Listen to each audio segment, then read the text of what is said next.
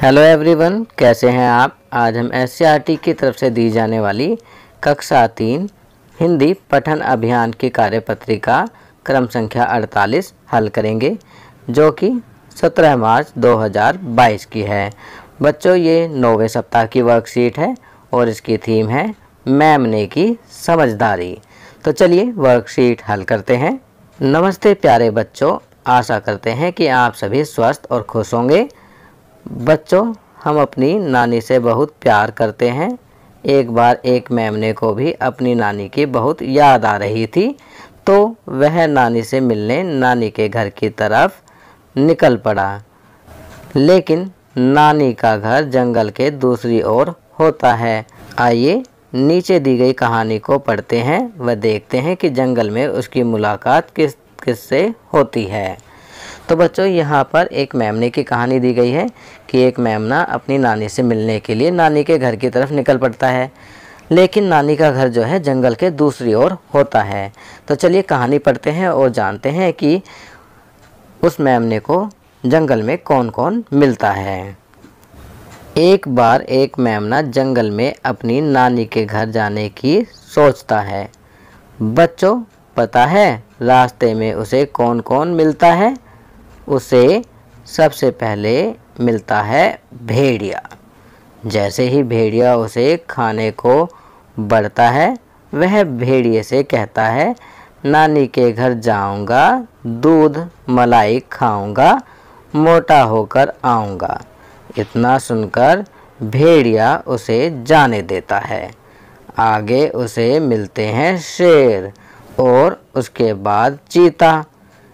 फिर से मेमना वही बात कहता है, नानी के घर जाऊँगा, दूध, मलाई खाऊँगा, मोटा होकर आऊँगा। अब सबको लगता है कि जब मेमना मोटा होकर वापस आएगा, हम तभी उसे खाएँगे और सब उसे नानी के घर जाने देते हैं। लेकिन मेमना बड़ा समझदार था। नानी के घर से वह एक ढोल के अंदर बैठ गया और लुढ़कता हुआ सुरक्षित घर आ गया। तो बच्चों, कैसी लगी मेमने की कहानी आपको? चलिए, कहानी पढ़ने के बाद अब नीचे दिए गए प्रश्नों को करते हैं। प्रश्न एक, बच्चों, अपने दादा दादी, नाना नानी के लिए एक ग्रीटिंग कार्ड बनाइए। उसमें एक प्यारा सा संदेश लिखिए और अपने शिक्षक, शिक्षिका के साथ साझा कीजिए। आपके दादा दादी, नाना नानी को आपका कार्ड कैसा लगा? तो बच्चों, यहाँ पर आप अपने दादा दादी या नाना नानी के लिए ग्रीटिंग कार्ड बनाएँगे और उस पर एक प्यारा सा संदेश लिखेंगे। तो सभी बच्चे यह कार्य स्वयं करेंगे। आपकी सुविधा के लिए मैंने यहाँ पर ग्रीटिंग कार्ड लगा दिया है और उस पर संदेश लिख दिया है। चलिए आगे बढ़ते हैं। प्रश्न दो, होली का त्यौहार आने वाला है। बच्चों, लिखकर बताइए कि आपको होली में क्या खाना अच्छा लगता है। लिखकर बताइए। तो बच्चों, आपको पता है कि होली का त्यौहार आने वाला है। तो आपको यहाँ बताना है कि आपको होली में क्या खाना अच्छा लगता है। सभी बच्चे अपनी पसंद की खाने की चीज़ों के नाम यहाँ लिख सकते हैं। आपकी सुविधा के लिए मैं यहाँ लिख रहा हूँ। मुझे होली पर गुजिया खाना, पकोड़े खाना और सबसे ज़्यादा पसंद तो दही बल्ले खाना है। तो आप भी उन चीज़ों के नाम यहाँ लिखेंगे जो आपको खाना अच्छा लगता है।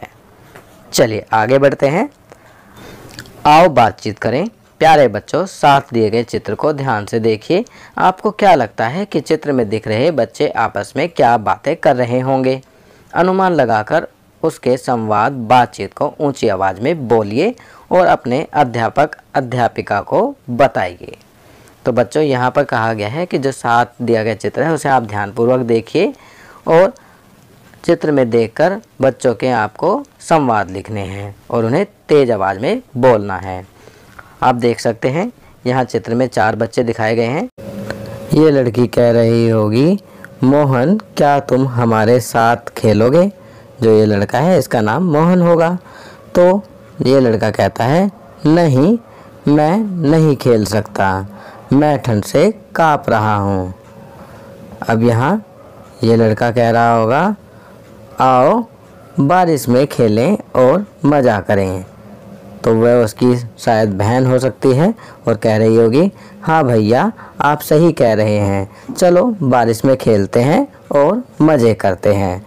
तो बच्चों, आप भी इसी प्रकार इन बच्चों के संवाद यहाँ लिखेंगे। तो बच्चों, ये वर्कशीट यहाँ कंप्लीट होती है।